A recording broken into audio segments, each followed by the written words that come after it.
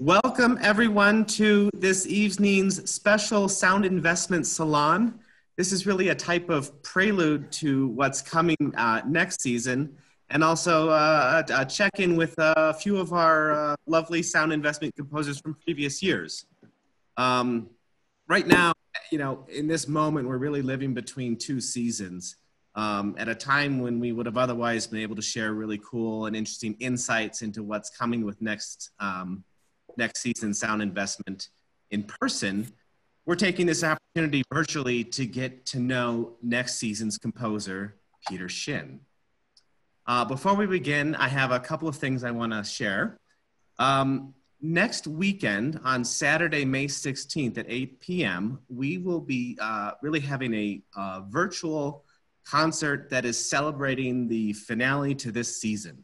It's going to include some really special performances, um, uh, particularly uh, Beethoven's Third Symphony, Eroica, which was recorded a couple of years ago under the direction of Thomas Dausgaard. We'll have a piece, a special piece, a Rachmaninoff uh, cello sonata with Sheku Kanneh-Mason and Isata Kanneh-Mason. We'll also have some cool interviews with Jaime, and we'll be even be premiering an excerpt from Derrick Spiva Jr.'s Prism Cycles Leaps Part 3. Um, we'll have a few minutes of that as a special uh, virtual premiere. Uh, a lot of that, all of that information can be found at, on LACO's website, laco.org slash LACO at dash home. Um, this virtual concert is also going to play a special role as we support our musicians and composers uh, as, we, as we begin to enter next season. Um, right now, in this current state, we've been very fortunate to be able to pay all of our musicians for canceled concerts this season. And we are taking as many steps as we can to make sure that we'll be able to continue that, um, that kind of support and engagement with our musicians uh, and composers as we enter next season. So that concert on May 16th will also be a fundraiser that is dedicated to the cause of supporting LACO's musicians. So a couple of housekeeping things about tonight. Uh, tonight's event will begin uh, with a conversation between uh, four composers who I know many of you know. Um, about 725, we'll shift to a Q&A, and those of us in the Zoom will be able to ask questions. There is a chat feature at the bottom of the screen if you have a question uh, that you want to pose to the group at any time, you can either enter the question into the chat or you can just say, I have a question. And when we get to the Q&A part, we will uh, go through those questions in order. Um, spotlight you and give you the chance to ask the question um, in, on video and audio uh, to the group, and then we will uh, go that way. We plan to end the uh, program about 8 o'clock tonight. Um, so, the quick introductions of the lovely people that are with us tonight. We have Ellen Reid, LACO's artistic advisor and Pulitzer Prize winner. Um, Ellen was the 2017-18 sound investment composer uh, for her piece that uh, the world premiere entitled Petrichor. We also have Sarah Gibson, LACO's 2018-19 sound investment composer who premiered with LACO Warp and Weft just last year to believe it's only been a little over 12 months. Yeah. Um, and then we also have uh, LACO's 2019-20, just the season we're wrapping up, sound investment composer, Juan Pablo Contreras, who actually had to reschedule the world premiere of his piece Lucha Libre, which will happen in a future season. Excellent. Of course, tonight we have Peter Shin, who is the rising 2020 slash 20 composer. Hello, Peter. Um, and also who is just about to graduate with a master's from Yale, which is a wonderful time to have. Great congratulations to him on that accomplishment, and we look forward. Um, I think we also will have a few other sound investment past composers uh, with us tonight. I know uh, Matt Aucoin uh, was expected to come as well as Gernot Wolfgang, and we a couple of others who will be joining us. Mm-hmm. Um, a big thanks also to all of the members of Sound Investment who have made all of this possible. Um, we are now entering our 20th year of sound investment, which is an incredible um, run for this uh, wonderful program. And it would not have been possible uh, were it not for all of the supporters who have been coming back year in year and supporting, as well as some of us who have really sponsored this program at much larger levels. So uh, thank you very much. And with that, I will turn it over to Ellen Reid. Hi, everybody. So wonderful to see you. Um, I want to ask a question, which is not appropriate, but who here is not wearing pants or shoes? For all of our panelists, just joking. Um, you know, it's so great to see so many faces here. You know, I miss everybody. I really miss the community. I miss the beautiful music that LACO makes you know, and I'm just thrilled that we're able to make the most of what we can by having some exciting conversations. So um, for me, having the Sound Investment Commission was a huge opportunity. And the fact that you workshop it really allowed me to um, have music in my piece that I would have never had otherwise. I would have scrapped things, I would have um, you know, like had to make a lot of different decisions about the piece. And there was this great freedom around um, the fact that we got to work with LACO really deeply on the work. And um, I was curious if this experience was uh, just personal to me. And when we were all talking the other day, it seemed like we all had parts of our work that wouldn't have existed, that wouldn't be living in this world had it not been for sound investment. And so I really wanted to hear from, um, from Sarah and Juan Pablo and about their sound investment pieces. So Juan Pablo, why don't you kick it off? Can you tell us a bit about a part of your piece that wouldn't have existed without this workshop process? And could you um, play a little bit of the performance of it for us, please? Yeah. Uh, so my piece is titled Lucha Libre. It's about Mexican wrestling, and I had basically I chose six soloists within the orchestra to play prominent parts in my piece, and one of them was the timpani, and uh, he personified the character of Death, La Parca, and I wrote a very intricate timpani part, part that initially I imagined for five drums, but what was amazing is I got to work uh, on it with Wade, and he figured out that using six drums was even better and sounded uh, fantastic. So what I'll play for you is is that end result. We worked together. We met one on one a few times, which was incredible for me to be able to test things out and to learn more about how to write even better for timpani. So this is the result. This is the, the timpani solo. It's very melodic, and this is what it sounds like.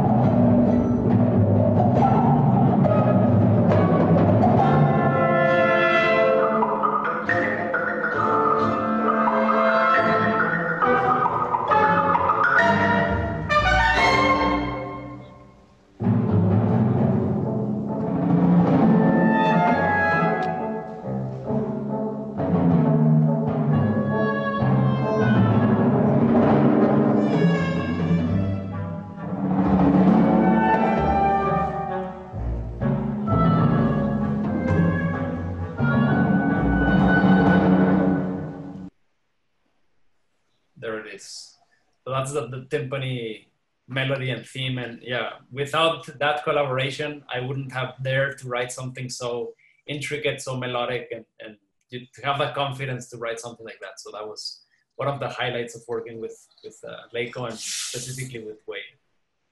That was so beautiful. Have you noticed in your writing, I mean, I guess that you're just off the heels of working on the piece, but has that spilled into any of the other works that you're working on right now? Uh, not yet, not yet. Yeah, this was this is so recent. This piece is so recent that I'm still, yeah, growing out of it. But it, it was an amazing experience, and and especially working with or presenting it to the investors was completely life changing for me. Like having them involved in the whole process. I, I, I now moving forward, I want to write all of my pieces like that. You know, that's a luxury to have a, a community to work with. You know, composers we work so isolated and alone that I, I, I miss having that feedback and that getting that advice and make it more of a collective experience, which was amazing for me.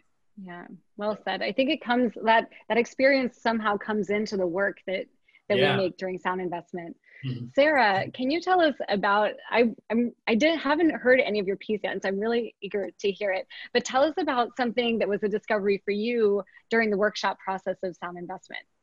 Absolutely. So I had gone to Ellen's workshops and also had talked to you, Ellen, about, you know, like what your first reading was like. And I remember you just saying, like, get as much as you can out, even if it's not like a finished piece yet, like, just do as much as you can because you'll never get to try something like this again. And so I, I wrote just as much as I could, but I did go into it knowing, thank God I have this time to adjust, you know, if something isn't quite right. So there's this one section, it's about two thirds into the piece, where um, I knew I kind of wanted it to be the emotional climax of the piece. Um, and I really wanted to use an oboe solo because I love Claire Brazeau's playing so much, and I had known her um, a couple years before, and then just around LA. And so I was really excited to write this oboe solo.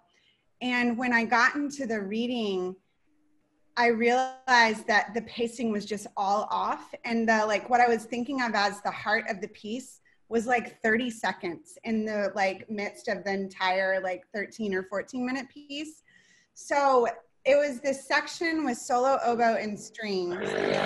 And what I ended up doing is actually making it about two minutes long, this whole section. So I quadrupled the size of it.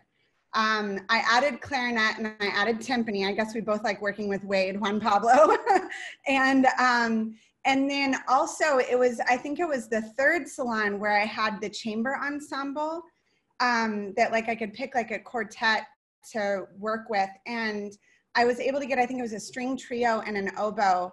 And so I was able to not only hear the first 30 seconds of this with the whole orchestra, but then in the chamber workshop, I was able to hear a semblance of the full two minutes and work out all of like the the string articulations and there's a lot of glissandi and some string effects that I just had I not had that second workshop, I was working with like Armand and Teresa, and they both just like held my hand through this is the best way to write these effects. This is, you know, how you'll get these. I wouldn't do this at forte, I'd do this maybe at like mezzo forte. And like, I, it was just like, and now I, I love this part of the piece, and it's all due to both workshops. so. That's incredible. Wow, I love that. Have you um, been able to take that and put that into the work moving forward or do you think that it's so specific to the piece that it's just things I, that can be applied to work and left yeah no i've actually like working on what i worked on with the string players in regards to articulation has really affected how i've put in articulation specifically for strings since then i think i use too many accents because i'm a pianist and so it's like more percussive and for strings right. i don't think think that was translating the way I wanted it to. So I definitely it's affecting how I'm right putting in articulations for players for sure. Yeah. That's so awesome. Let's hear it. Let's listen.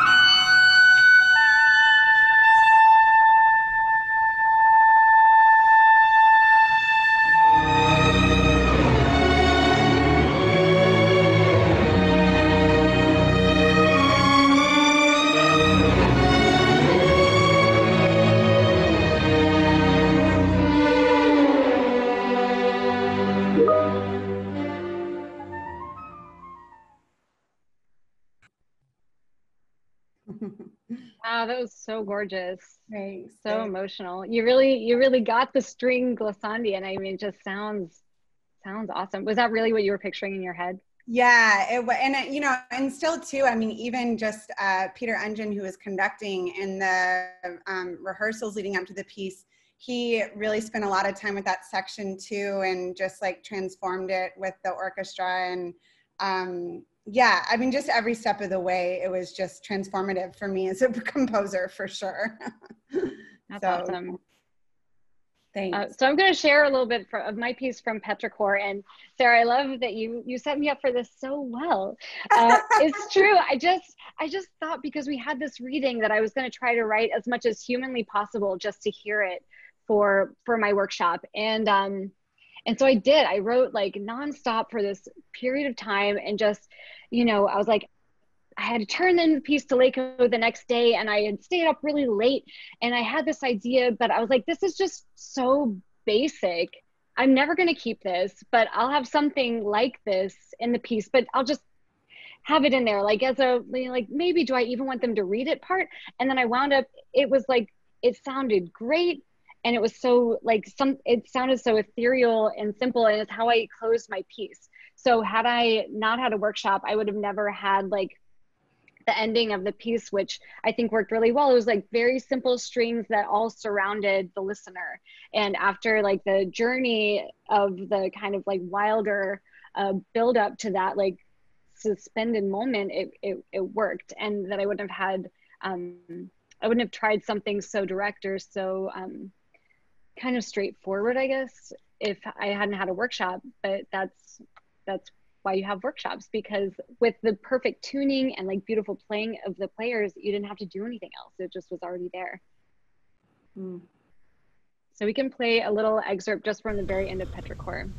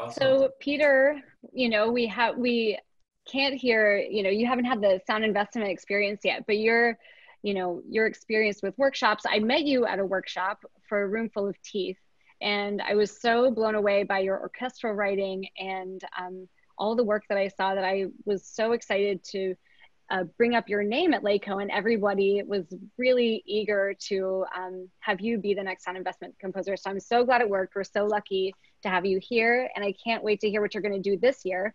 But at this point, um, can you? Um, I know that you have experience with workshops and that you built this super cool dance piece called uh, Screaming Shapes. Can you tell us a little bit about how the workshop process in, impacted making that piece? And then could you share some of it with us?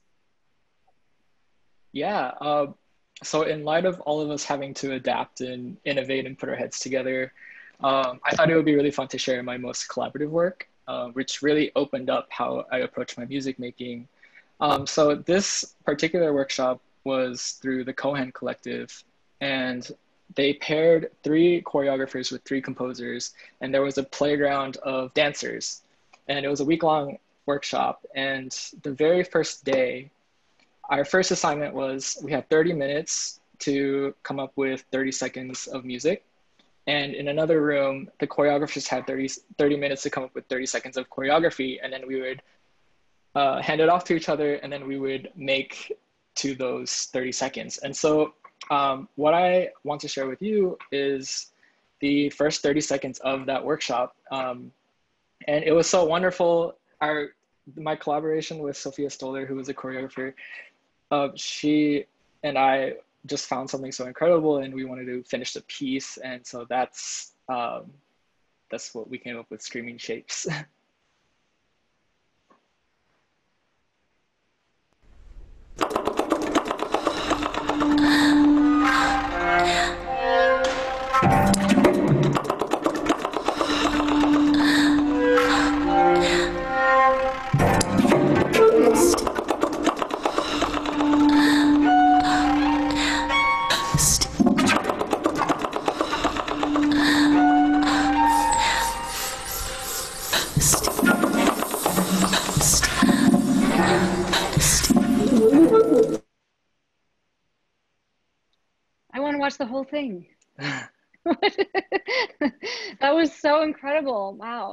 can you tell us about what, what were some of the sounds that we were hearing in that?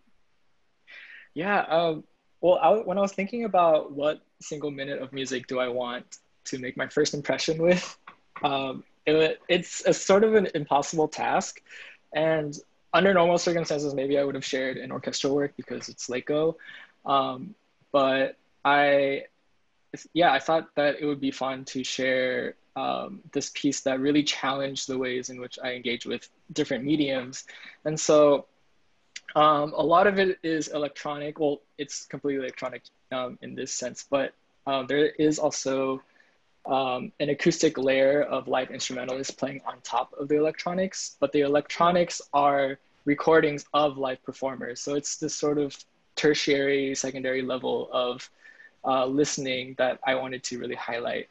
Um, and so the, re- the electronic part is just a group of friends that I got together um, and we just jammed and I recorded uh, each individual player responding to a poem that one of uh, the instrumentalists had written.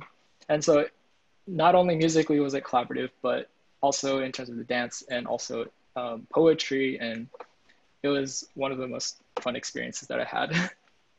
Wow, I love all the different touch points. And uh, how long was the piece total? It's uh, about six minutes long. Yeah. Awesome. Have you continued a, a relationship with those dancers?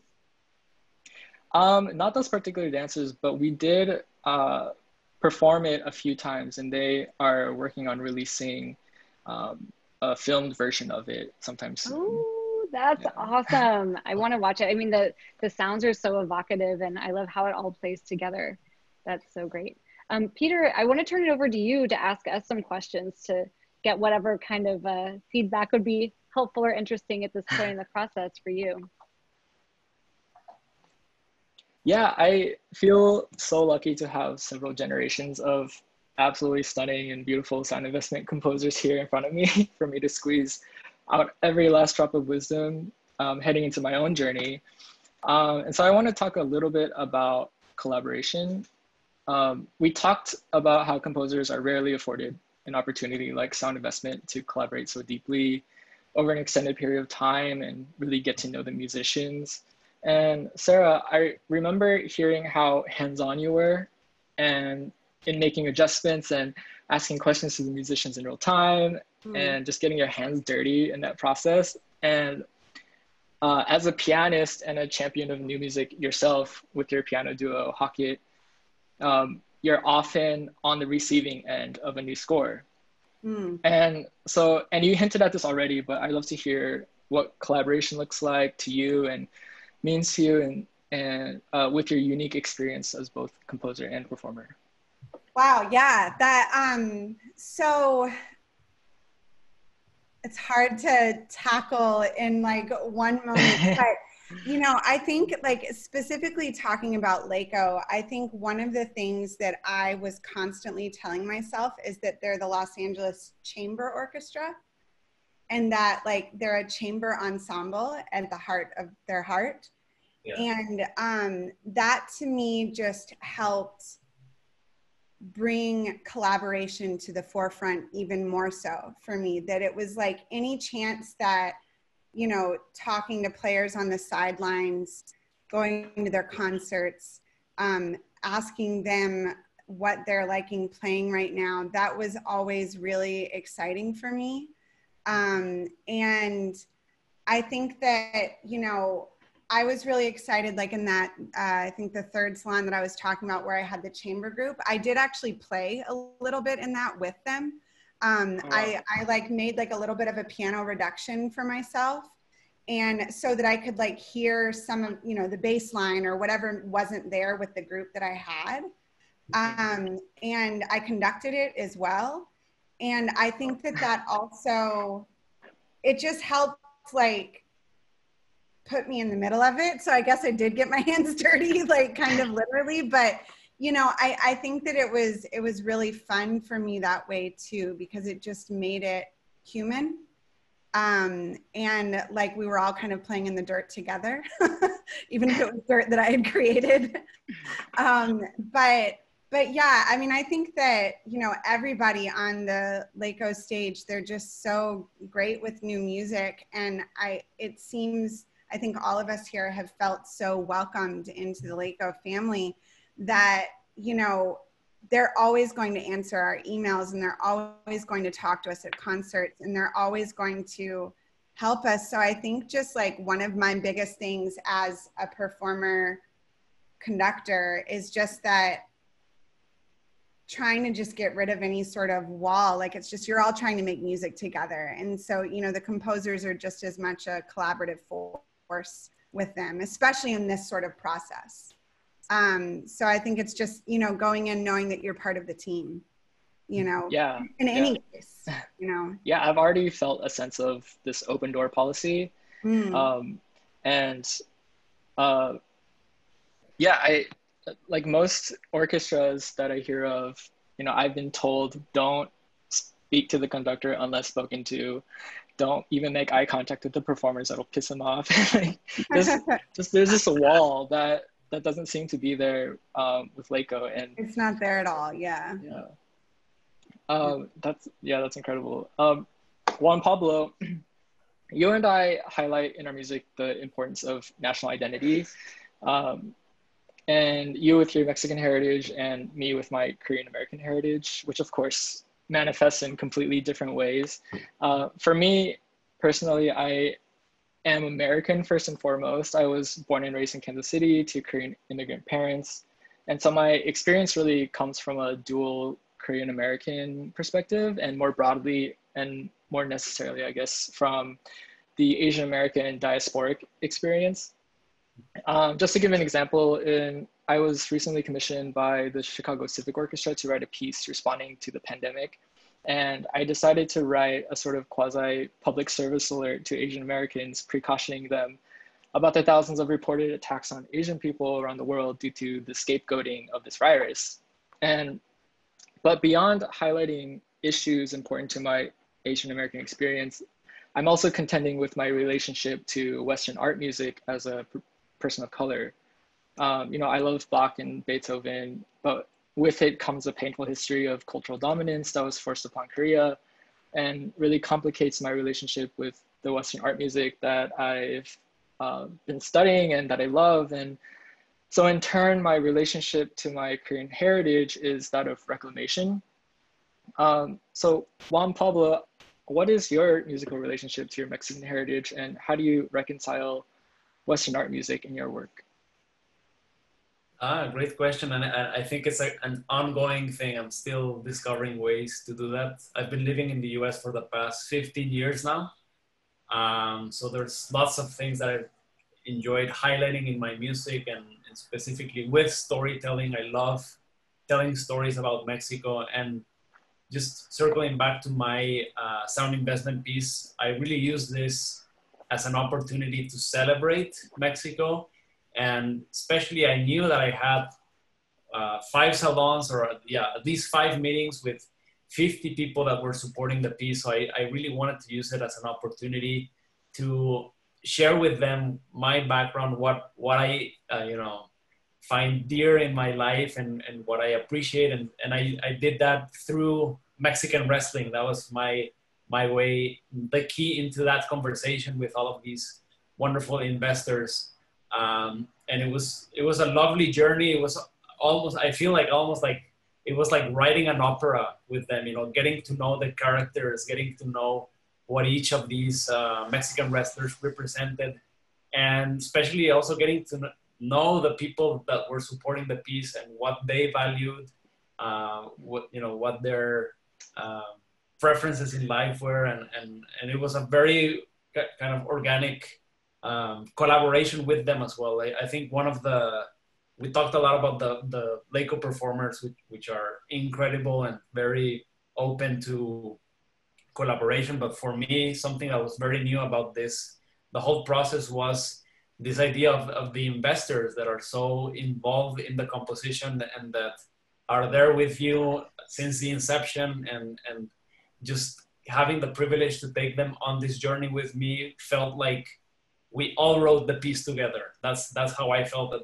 by the end it, it was just it, wasn't me composing it was you know 50 or more people uh, giving me input feedback and you know and giving me the courage to to really experiment and go, you know, go crazy and and and bring this idea to life. So um, I think it's it's a wonderful opportunity to to have this uh, more collaborative re- relationship with investors, with music lovers, and it's something that we rarely can do as as composer. No, we're we're typically more in touch with the performers, or we just composing on our own and just show up on the first rehearsal with an orchestra and just getting to know the community of the orchestra and, and people who have been here for many, many years for me was incredible. So that's, I saw that as a huge opportunity to, you know, connect with them, tell them about my background, talk about Mexico, and in turn get to, get to know them at that deep of uh, a level. So yeah, it was that, that was my favorite part. I think re- really having that sense of uh, a communal accomplishment. Like I felt that the fact that I wrote this piece, which is the most you know uh, out there piece I've written, was thanks to everyone who, who chimed in and, and gave me that that encouragement. So I would say as as an advice, you know, like use that to your advantage. Use that process, the fact that you're gonna be able to communicate and collaborate with all of these wonderful people for six or more months to you know build that into the piece into your idea so that it's something that you can flesh out and, and uh, explore as time goes on so you're in for a great ride. Thank you. Um, i just have one last question. Uh, ellen you've had such an incredible few years as a composer and with that success comes an incredible opportunity and responsibility in championing the next generation of composers. Um, you know, the four of us are here because someone advocated for our music. And so, Ellen, could you talk about what it looks like and what it means to have that responsibility of advocating for other composers so that people like our sound investors can get to know and support new voices? Yeah, I mean, I do. Yes. So for me, it's just one simple question What is the world that you want to be living in? and that world how can you reflect that world in the music that we're hearing and for me i want to be living in a world that has a lot of different viewpoints that has different ages that has people who come from different backgrounds and who that represent the the multitudes and vast richness of of the world. And so that it's pretty simple to look and say okay so who's who's not here? Who do we need to hear from? And and to ask those questions. Um, also, I work with Missy Mazzoli on a, a, young female composer mentorship program called Luna Composition Lab, where we mentor five young um, female composers ages 13 to 19. And we help um, try to address the pipeline issue because uh, female composers are still majorly underrepresented. I think the stat is really depressing. It's like 10% of music heard on the stage is by someone who identifies as a woman. Um, and we're 60 something percent of the population. So, you know, um, so hmm. we're trying to address the pipeline issue um, by uh, working with these incredible young composers to help them um, get uh, training, have confidence, and get fabulous recordings of their work to get into college. And we've had great success. Um, I was working with a composer this year who got into IU. Um, she's awesome. My composer last year got into Rice. We're like we're slowly making progress, um, and and it's exciting, and everybody's all for it. So yeah, I don't know. I mean, I think it takes a village, but um, I'm excited about um, having more possibility to create the world I want to be living in. Mm-hmm. Yeah, I, I mean, uh, this conversation really attests to the importance of reflecting our world and uh, uh, of the importance of living music. You know, I can't have these sorts of conversations with Bach or Brahms. And so I am so incredibly thankful for the three of you bestowing your wisdom upon me. Um, and to and thank you to everyone at LACO for welcoming me to this incredible family. I can't Woo! I can't wait. we're so excited to hear what you do. Um, so I believe we're going to open it up now for questions.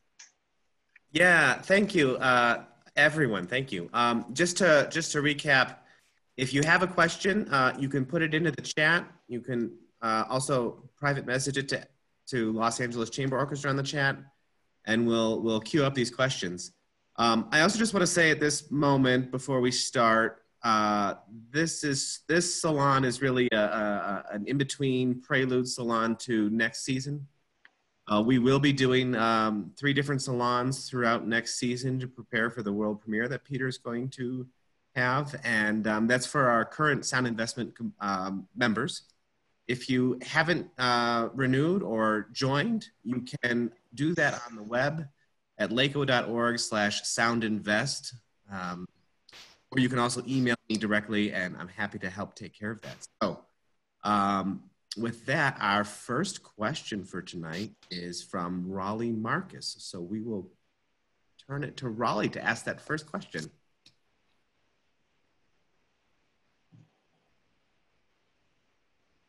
Let's see. Uh, okay, so now I shouldn't be muted, right? You're good. Okay, great. So hi, everybody. So I really enjoyed the discussion um, and I thought it was really fun going through the the roll call of the people that we've known for a few years. Uh, and you know we love them and it's really wonderful to see them again uh, but this time it was really interesting to hear a little bit about peter because i don't know his work and so peter i was just wondering i don't think we've ever used dance at laco mm-hmm. have you considered that maybe we should use some dance for this premiere you're working on um, if there if there's a budget for it, um, that would be cool. I mean, the more dance, the better, right? right. You know, there's there's dance is not that expensive, and there's got to be a way that you can incorporate some of the Colburn or, you know, there's a lot of dance in Los Angeles now, uh, but it seems like you like that. Um, yeah, I mean, Ellen and everyone at LACO have been incredibly supportive in letting me be as creative as possible in creating this piece under these circumstances. You know, I was originally slated to write a piece for the chamber orchestra, but um, now I get a chance to really think creatively um, and bring something really special to the table. And dance is obviously something I really love, and uh, but I love other things too. And so it's I'm really I'm trying to narrow it down. yeah. Well, welcome. Thank you. All right, Mike, do we have another question in the queue? Um, Gordon mentioned that he had a question for Peter, and I'm looking for Gordon here. If he still has a question. Dude, dude, dude, dude, Here we go. You still have a question, Gordon? I'm going to unmute you. Okay. Uh, yeah. Um, I didn't realize that uh, how preliminary this salon was, but uh, I'd like to ask Peter, what thoughts does he have about his composition at this point? Yeah, uh, uh, well, with the status of the world um, comes with uh, the sort of uncertainty of um, what I am even allowed to do, and so I, I, I'm still thinking. Um, one possible avenue that I've thought of is, you know, I mentioned before that, that my Korean heritage is important to me, and um, I've always wanted to work with um, Soo Yeon Lyuh, who's a haegeum player. It's a Korean traditional fiddle, and I think she's here tuning in right now. Um, but that, yeah, I would love to collaborate with her, and um, obviously I want to keep it LACO focused, um, but they're very uh, open to bringing in, you know, like I mentioned, dance dancers and um, people of other uh, disciplines to this table.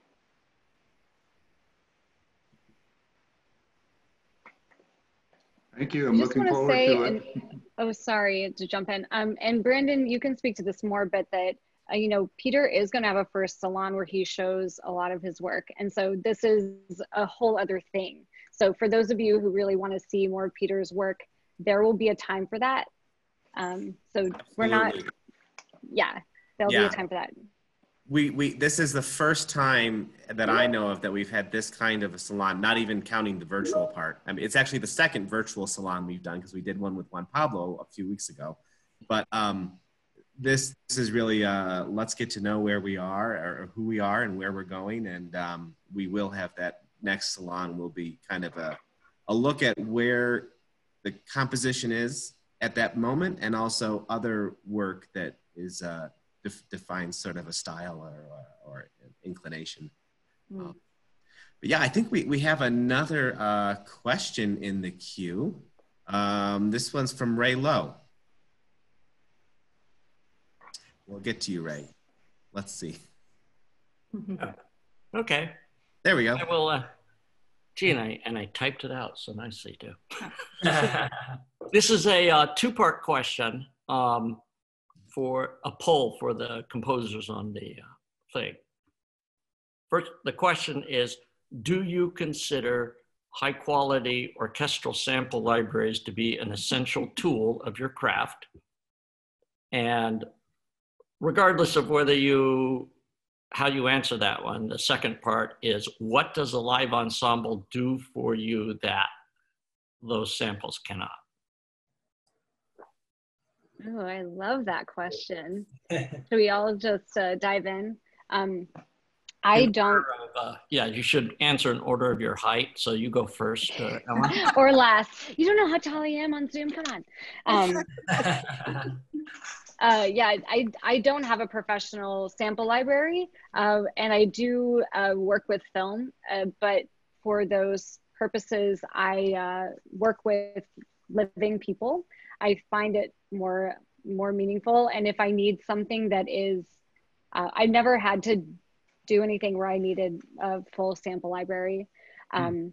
And I mean, what the living ensemble or like what the live ensemble does, it's it's something spiritual. It's something that is uh, like pierces your body and and impacts all of your cells. So I I think there's something like so incredible in that um, physical and visual experience that is just singular. Um, like after LACO plays a piece, who doesn't feel different? Yeah. You know, just like the pure tuning of it just does something to you. Yeah, I can jump in on that and say I second everything Ellen just said. Um, and I don't have a professional sound library either. And I'm kind of glad I don't because I think that it, it would give me, I, I don't know. I, I don't ever want to feel like I only need a computer. and because again, that, that breath, literal breath in so many cases that people put into music, um, it's transformative and i think the best kind of analogy would just be would you rather listen to a cd or would you rather go to a live performance or like would you rather listen to you know a computer like library sound of beethoven 5 or would you rather listen to Laco play ellen reid you know it's like I, I think that it's a similar sort of thing that being there in person is just a different thing altogether yeah, and I think uh, the score itself, the, the scores we write are only like 70 or 80% of the information. You know, the, the, the performers get that score and interpret the music. So there's a lot of information, a lot of nuance, magic that they add to that score. So it's just we're as composers, we just do one part of the of the process. No, we write the recipe, but then we give it to the chefs and all of these ingredients that bring in so much life and so much energy that we. I mean, they always surpass our our imagination. So there's so much hidden magic that they bring to life that it's, you know, I don't think a computer can come even close to to what uh, musicians, especially Laco, add to a to a score. No? Yeah, I I can't afford a high quality sample library, so no to your first question. um, at least legally. Um, and then um, uh, to your second question, yeah, there has to be a feeding off of each other um, for my music to thrive. I'll leave it at that. Thank you. Great. Uh, I, th I, think we have another question hand went up from Leslie Lassiter. Uh, Leslie, do you have a question for us? Let's unmute Leslie.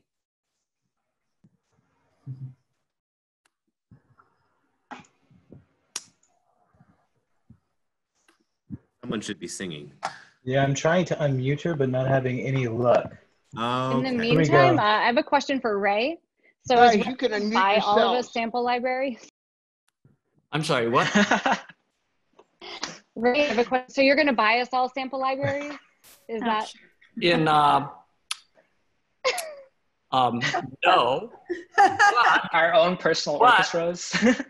in the, in the spirit of Salon number one, which is something of a teaser, um, that doesn't mean that um, my efforts couldn't result in all of you getting said tool. Ooh, teased. Mm. Cheers. Relates to some conversations we've had earlier, Ellen, which have been put on hold for the current crisis, but which will resume. Wow. I way believe we put him on the spot. I believe we should be able to hear Leslie now. I think that Leslie's unmuted. Can we? Can you speak, Leslie? Yeah, but I don't have a question. Oh, your hand your hand was raised. So I don't know, but I, I'm having terrible, I- I'm having issues. I can't see any of you. I don't know what my problem is. Oh no. That's okay. At least you can hear us. I can hear you. And I was trying to push buttons, so maybe that's what happened. Okay, got it. Uh, Nice to we hear your voice, Leslie. Yeah. I, I, as I mentioned earlier, and I'm glad to confirm, we have a couple of other past sound investment composers with us.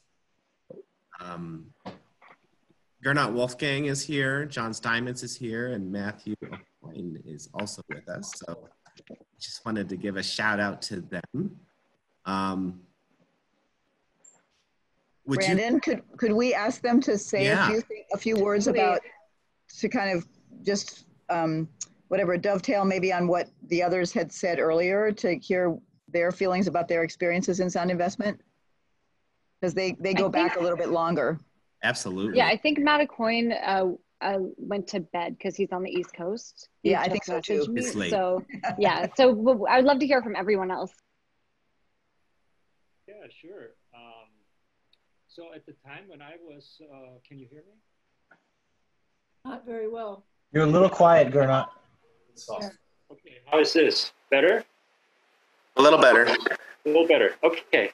So uh, at the time I was um, sound investment composer with Laco, we didn't have orchestra workshops.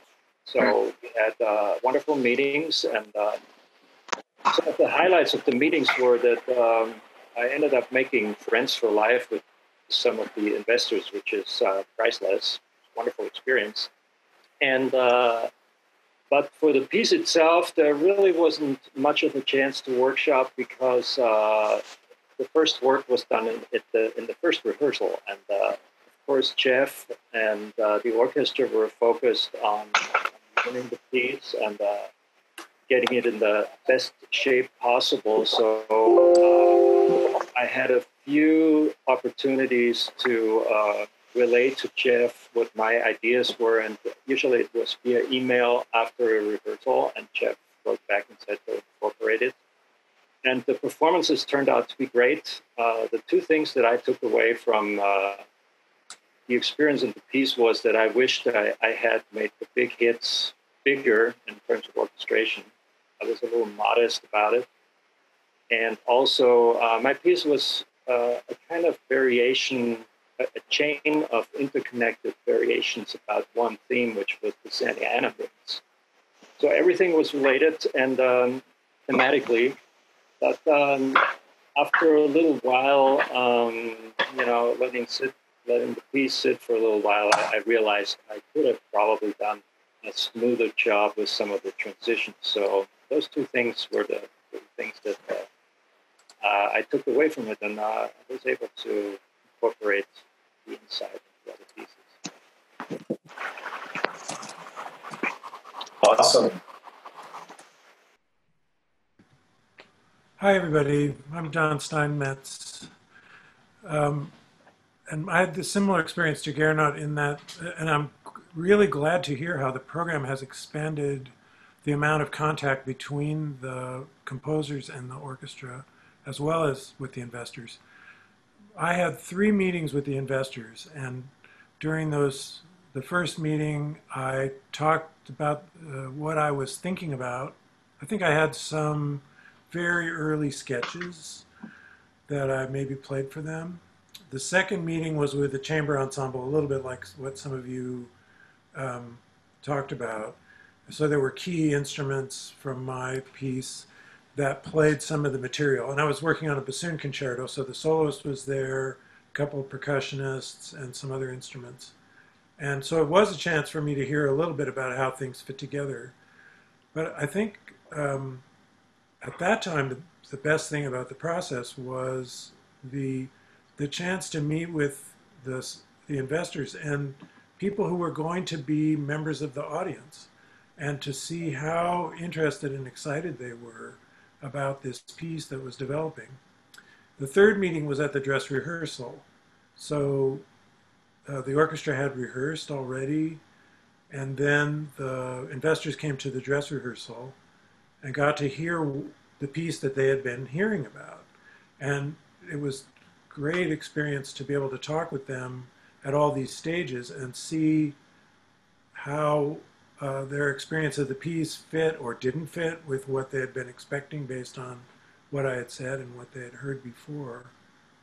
And that, that experience certainly convinced me that this is a fantastic process that among many other benefits is cultivating people who are really interested in new music in a deep way, who really want to know how these things are made and what's on the minds of the composers, who I think in, in the course of doing this learn also more about the musicians and how the musicians relate to the music.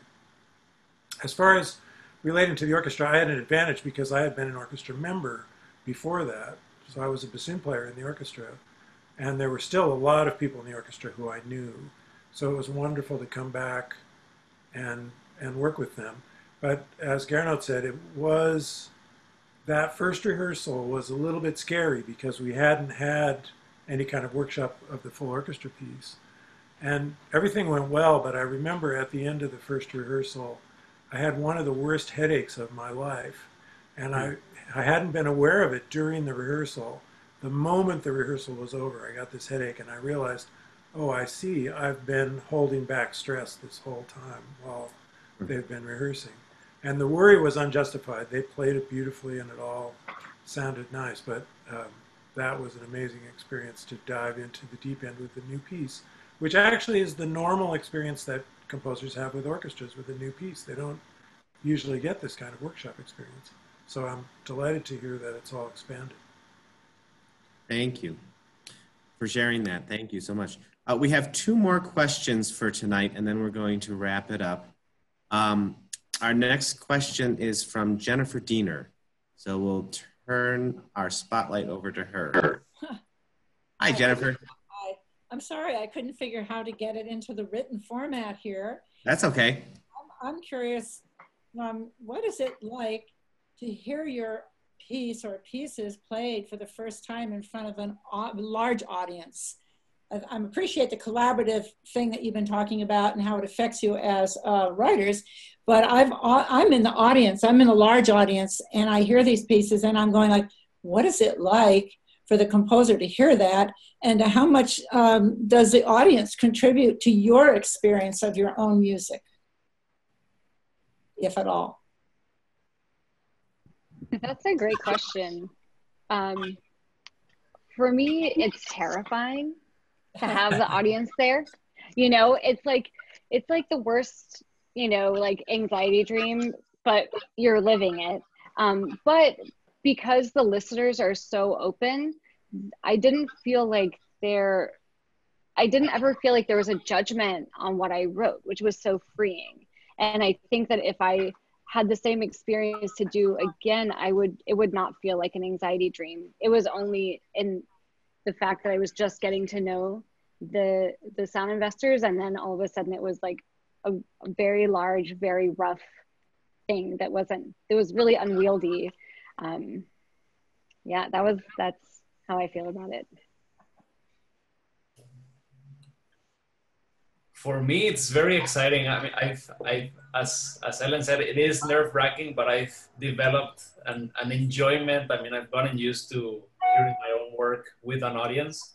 And I think the audience just adds to that excitement. So it's always interesting to see how people are reacting to things. And that energy, I think, translates between the performers and the audience. So it's, it's always interesting to see your, your piece performed on different venues and with different audiences and how that synergy happens and and yeah i'm always fascinated by that. And i always learn a lot you know just by observing people and seeing like where people were most excited or more quiet. So so there's a, a lot of learning for a composer on a premiere and also on each performance i think. Yeah we, we take a lot of there's a lot of feedback implied and, and that, that we can really learn from. So yeah, it's, I think it's the best part. It's the, the icing on the cake. Absolutely. Yeah, I mean, I, I think it's similar. It's very overwhelming. Um, I mean, everybody in that room is hearing the piece for the first time, you know, and and that's like quite a task for every single person, you know, to process all of those sounds at once um, I, I think as a composer, you know, it's trying to figure out like how to take notes and also how to be verbal and make sense, you know, to and and how to like um, piece these ideas. It, it's you know, speaking of the computer sound libraries, however much we might not rely on them, we have listened to MIDI playback at some point and and and every time it's going to sound wildly different and so then it's like oh that didn't sound like what I thought it would. Did it sound better? What did I do that didn't sound right? Was it was this too loud? Did they just need to do it again and play it a second time and maybe they'll understand the rhythm better this time? Or was that my fault? Or that you know, it's like these endless amount of questions. Um, but you know, I, I think it's all just in the spirit of learning together, which is a really beautiful thing. Mm-hmm. And however much you can digest in the moment is more than we normally have, which is really exciting. Yeah. Mm. Okay. I think, and so this gets us to our last question. And I just so love this question. It's a lovely way to end our evening together. Um, from David and Claire, uh, we'll spotlight you. Would you like to ask this question to the to the group? Well, being big fans of Desert Island Discs, we love when wonderful creative geniuses are asked if you were marooned on a desert island and had a choice of one disc, what would you have? Mm-hmm. For the composer. one composer. Yeah. One composer. One, com- oh God. one composer, I, w- I would say Debussy. I would think. Okay. Excellent. I would, yeah. And I, you know, it's really hard to choose one, but I'm just gonna. I have this photo of Bjork that's on my wall. so I'm just. I might just take the photo of her, and you know, her her essence might follow, but I she's love definitely up there for me. I love that. Yeah. And I'm gonna say, oh man, it's so hard to like think about like the different like things. I- If I had to pick a composer, I I think that I would pick Ravel because that was like my favorite piano music to play, and so I think it would just bring me back to like a my childhood in a way. Hmm. very good. Peter. Peter, Oh God. the last word. Can I can I just die on the desert island? You can bring John Cage. Like, oh, there oh, okay, sure, And sure. you can John have Cage. silence. That's what I want. Silence by John Cage.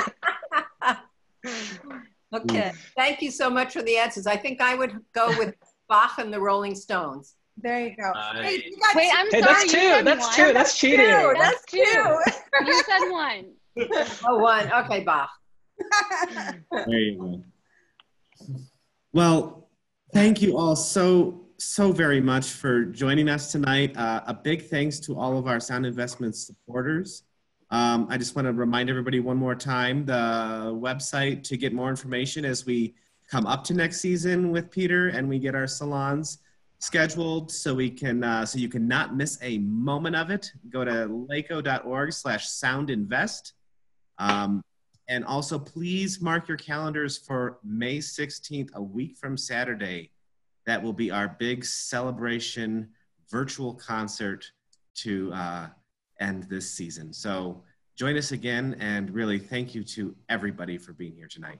Thank you. Thank you, Brandon. Thank you, Brandon. Thank you. Bye, everyone. Thank you all. Thank you. Bye, everyone. Thank you. Bye, everyone. It was Bye-bye. Stay safe, Ciao, ciao. everybody.